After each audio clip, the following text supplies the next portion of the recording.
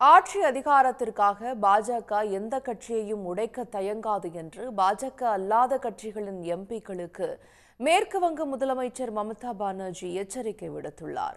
கொல்கத்தாவில் நடைபெற்ற திரிணாமுல் காங்கிரஸ் எம்பிக்கள் கூட்டத்தில் நாடாளுமன்ற திரிணாமுல் காங்கிரஸ் தலைவராக மமதா பானர்ஜி தேர்ந்தெடுக்கப்பட்டார். பின்னர் அந்த கூட்டத்தில் உரையாற்றிய அவர் இன்று மூன்றாவது முறையாக பிரதமர் பதவியேற்கும் பாஜக தலைமையிலான தேசிய ஜனநாயக கூட்டணி அரசுக்கு வாழ்த்து கூற விருப்பமில்லை என்றார்.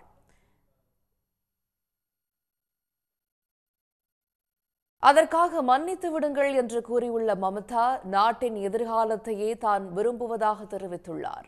ஜனநாயகமற்ற அரசியலமைப்புக்கு எதிரான விதிகளை மதிக்காத பாஜக ஆட்சி அதிகாரத்தை தக்க வைக்க எந்த கட்சி எம்பிக்களையும் விலைக்கு வாங்க முயற்சிக்கும் என்று அவர் கூறியுள்ளார்.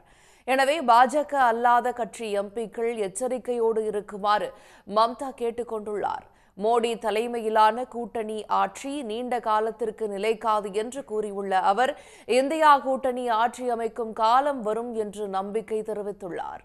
தாங்கள் அந்த தருணத்திற்காக காத்திருப்போம் என்று கூறியுள்ள மமதா பானர்ஜி மோடி மீண்டும் பிரதமராவதை யாரும் விரும்பவில்லை என்று குறிப்பிட்டுள்ளார். இப்படி ஒரு தோல்வி அடைந்த பின் மோடி தானாகவே விலகியிருக்க வேண்டும் என்று கூறியுள்ள அவர் பாஜகவின் ஆட்சி அதிகாரம் குறுகிய காலத்திலேயே முடிவுக்கு வந்துவிடும் என்று தெரிவித்துள்ளார். இதனிடையே மேற்கு வங்கத்தில் இருந்து தேர்வான பாஜக எம்பிக்கள் பனிரெண்டு பேரில் ஐந்து பேர் திரிணாமுல் காங்கிரஸில் இணைய உள்ளதாக தகவல் வெளியாகியுள்ளது உடனுக்குடன் செய்திகளை தெரிந்து கொள்ள சன் நியூஸ் பெல் கிளிக் பண்ணுங்க.